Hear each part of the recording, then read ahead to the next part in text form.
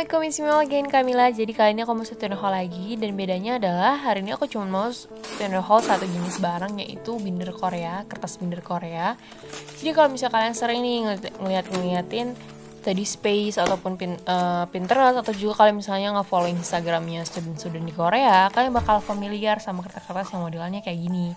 Jadi ini nih kertas binder yang soft terus estetik bermotif gitu tapi dia benar-benar kayak nggak ngejreng banget tapi nggak polos banget juga. Karena kita bosan gak sih sama kertas binder yang polos banget gitu? Memang si grid ataupun dot ataupun uh, ada lainnya. Cuman kalau putih polos itu kadang ngebosenin kan ya.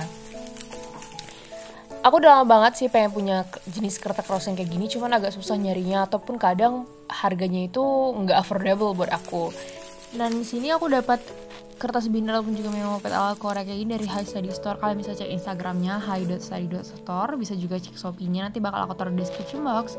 Terus dalam satu paketannya ini dapat kalian bakal dapat stiker. Jadi stikernya ini gratis kayak bonus gitu. Dan ini benar-benar lucu. Ada quotes it's okay to not be okay. Sama ada juga self love clubnya Oke, mungkin kita langsung ke produk utamanya. Jadi di sini ada empat motif. Dan untuk High Study Store ini dia menjual dua jenis gitu guys. Jadi ada satu, satu yang memopet, jadi kertasnya itu bisa kalian sobek gitu ataupun kertasnya bisa kalian kayak yang bersatu gitu. Yang ini dua ini motifnya yang memopet yang aku dapetin. Terus yang ini juga yang loose sleeve, yang model loose sleeve jadi kayak bisa dimasukin ke binder gitu. Kalau misalnya kalian lebih prefer untuk masukin ke binder kalian. Mungkin kita langsung ke produknya aja kali ya. Ini produk yang pertama, jadi ini adalah Two Heart version yang warna hijau, model loose sleeve.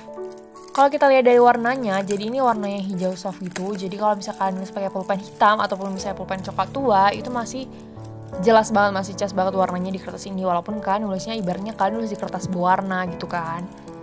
Ukuran dari kertas binder ini itu B5, jadi kalian bisa masukin ke binder B5 kalian.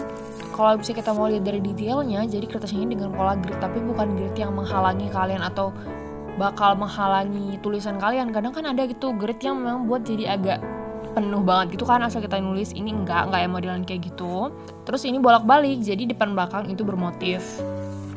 Jadi gak rugi dong ya kertasnya itu 80 gram square meter jadi cukup tebal ya kalau misalnya kalian nulis pakai brush pen brush pen kayak gitu itu bakal nggak tembus sih atau kalian misalnya highlighter pakai stabilo itu atau pakai eyeliner itu nggak bakal tembus gitu jadi bener-bener comfort banget untuk kalian yang suka nulis-nulis pakai highlighter Nah untuk satu plastik yang kayak gini kalian bakal dapetin 30 lembar kertas full sleeve dengan harganya itu 29.000 per 30 lembarnya. Ya mungkin kita bisa langsung lanjut ke produk selanjutnya yang motif berbeda. Ini masih dengan serial loose sleeve juga. Untuk produk kedua ini nama motifnya itu retro square version. Ini yang warna biru dan dia dikombinasiin dengan oval kuning yang ada tengah itu seperti yang kalian lihat. Dan di sini aku mau nunjukin detailnya ke kalian gimana.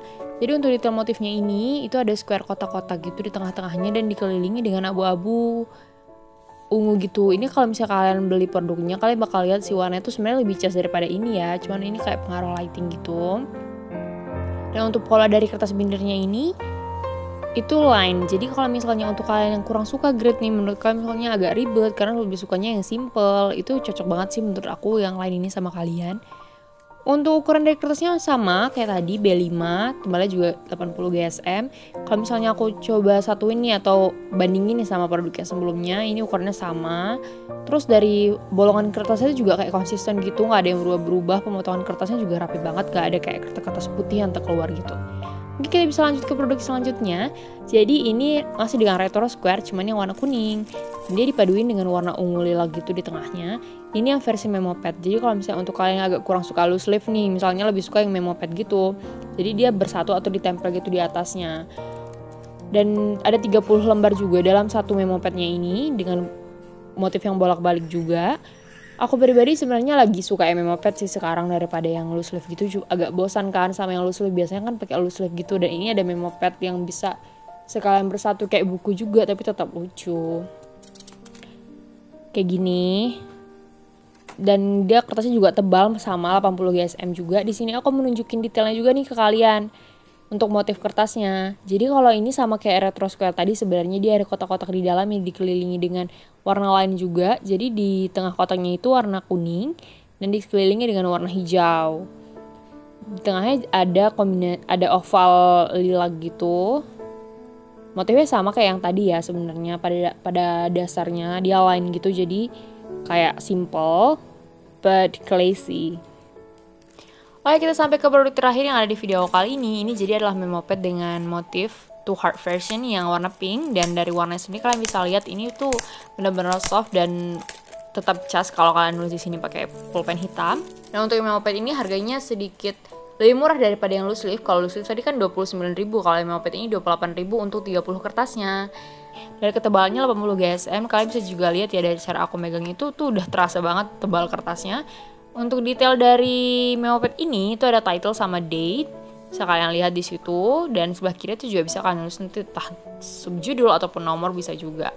Kalau untuk dari detail kertasnya, pola kertasnya itu adalah grid sama kayak hijau sebelumnya. Ukurannya B5. Dan ya ini uh, versi yang Memoped. Kayak gini, jadi yang bersatu gitu dan benar-benar cantik. For information juga kalau harganya untuk harga ini kalau yang Memoped itu harganya 28.000 per 30 kertas yang bolak-balik motifnya. Kalau untuk loose leaf itu 29.000 per 30 kertas yang motifnya juga bolak-balik. Jadi agak mahal sedikit untuk yang loose leaf. Dan ini hasil catatan aku pakai Memoped dari Haisa di store. Ini aku juga pakai highlighter dan highlighternya itu nggak nembus ke belakang bisa kalian lihat di sini. Pakai yang warna kuning, terus di baliknya itu aku pakai yang warna lain, nah itu nggak nggak tembus gitu. Jadi eh, benar-benar kayak nyaman karena kita kayak nggak ada yang timpa-timpa gitu kan tulisannya.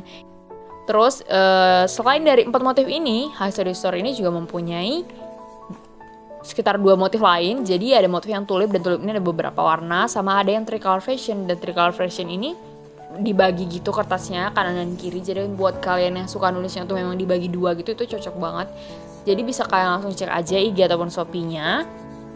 Menurut aku dengan make kertas-kertas yang cantik-cantik kayak gini ini bakal ningkatin mood belajar banget ningkatin mood nulis. Karena apalagi kalau misalnya kita lagi kayak malas hand lettering atau misalnya kita nggak bisa hand lettering nih ini bakal tetap buat tulisan kita cantik dan bakal tetap buat tulisan kita estetik kayak gitu sih. Oke okay, overall itu aja sih yang ingin aku sampein di video kali ini. See you guys in the next video. Thank you for watching and goodbye